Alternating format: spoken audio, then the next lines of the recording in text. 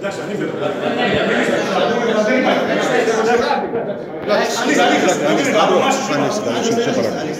Τραβάνε, με συγχωρείτε. Προκλητικός ο Τέλειας.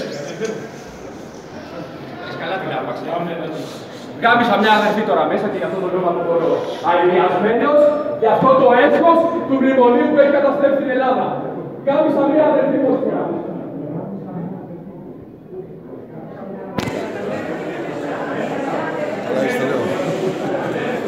Όχι, με σοκαρισμό.